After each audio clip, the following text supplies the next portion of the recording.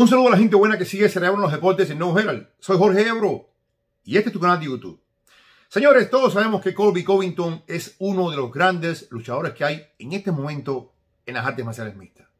Un hombre que fue un gran luchador colegial y que sin duda sí pone en práctica su lucha para dominar en todos los octágonos y en todas las peleas que vemos. Un hombre que ha mejorado su striking considerablemente, pero que su pan y mantequilla sigue siendo la lucha, sobre todo esa lucha tan tradicional en los Estados Unidos. Pero ahora Colby Covington, que no es extraño a causar olas en redes sociales, ha causado una enorme. Si ustedes ven la foto de la miniatura de este video, van a ver a Colby Covington junto con el maestro Danny Valverde. Evidentemente, Valverde le entregó el cinturón negro de Jiu-Jitsu a Colby Covington. Y Colby Covington lo ha hecho público diciendo, Master, ahora soy un Master.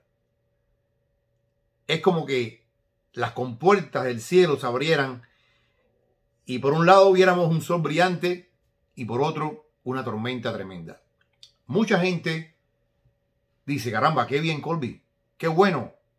Imagínate a un luchador de primer nivel, ahora le incorporas la cinta negra del jiu-jitsu brasileño. Vas a ser indetenible en el piso, indetenible. Y yo no pongo en duda eh, el hecho de que Dani le ha entregado el cinturón negro a Colby Covington, porque el profesor Valverde en Jiu-Jitsu es de los mejores maestros del mundo, sin duda alguna. Y yo no creo que Dani Valverde le ha regalado el cinturón a Colby por un motivo que no sea que Colby se lo ha ganado realmente en el gimnasio. Y si algo tiene Colby real, es que entrena. Eso me consta a mí. Y sé que él en el gimnasio es el número uno. El que más entrega. Eso es cierto. Puede ser pesado, puede caer mal, eh, lo que tú quieras. Políticamente no estás de acuerdo con él, lo que tú quieras. Pero entrenando era o es un tipo muy entregado a su arte. Y estoy seguro que si Daniel Valverde le dio la cinta negra de Jiu-Jitsu brasileño, sus razones tendrá. ¿Significa esto que Colby Covington va a ser indetenible en el piso, como decían los seguidores? No sé, está por ver. Colby no es de lo que hace una guillotina. Colby no es de lo que hace un ámbar. Colby no es de lo que busca un rear naked choke. Una anaconda. No, ese no es el estilo de Colby. Y no creo que a los treinta y tantos años va a cambiar. Yo creo que todos sabemos que el estilo de Colby es la lucha para dominar y en el mejor de los casos, ground and pound. Ground and pound. Colby tiene esa cosa brutal de que una vez que está en posición, descarga un poder tremendo destructor. No de una mano, pero sino de la constante paliza que propone. Colby ni siquiera quiere noquear. Él quiere llegar con su striking, sea el que sea,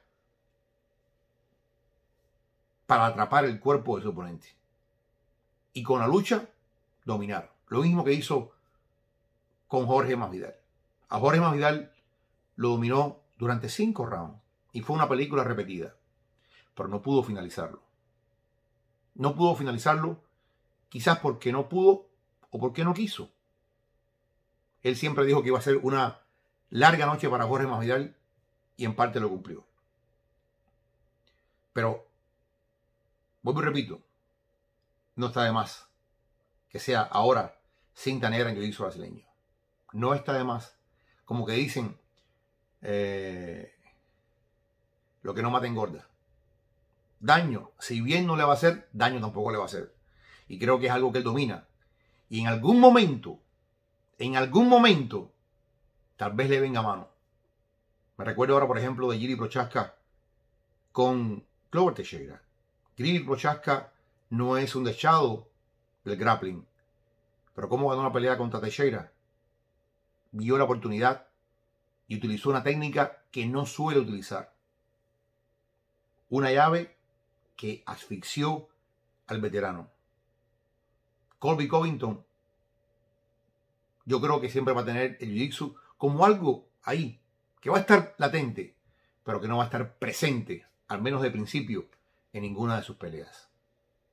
En cualquier caso, Colby Covington es, no por gusto, uno de los mejores welters del planeta. Y ya veremos qué pasa cuando se enfrente contra Leon Edwards, que por cierto, lo que están diciendo ahora, que la pelea, por supuesto, no va a ser en Londres, pero tampoco va a ser en Abu Dhabi. Están buscando una solución intermedia para todo el mundo. Y esa solución puede estar en agosto.